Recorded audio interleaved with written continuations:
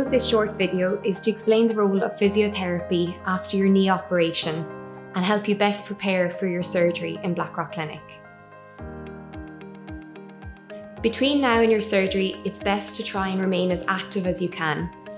If you feel up to it, you can try the exercises in the booklet provided.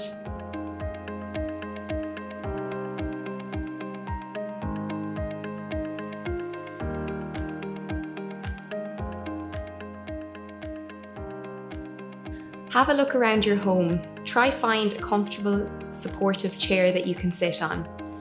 There is no need to bring your bed downstairs as you'll be practicing the stairs with physiotherapy before you leave hospital. When packing your bag to come into hospital, bring comfortable walking shoes. Ideally, no backless shoes or flip-flops. Remember to bring comfortable clothing with you. We recommend that you get dressed each day while you're here, so clothes such as leisure wear or loose trousers or shorts are preferable.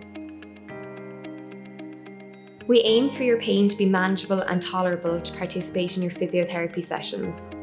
A certain amount of pain is normal and to be expected, but we will link in with your nurse to ensure adequate pain relief prior to physio.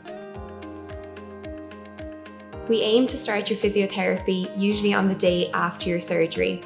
Initially, we will help you to sit on the edge of the bed and then stand to a frame. The first morning, we normally walk around the room with a frame and then progress you to sticks as soon as you are able. Once you're able to walk on your own with your sticks, we will aim to practice a flight of stairs with you prior to going home. We will aim to discharge you as soon as you've reached your goals. Some of your goals include being able to walk on your own with your sticks, being able to bend your knee to 90 degrees, and also being able to lift your leg up off the bed.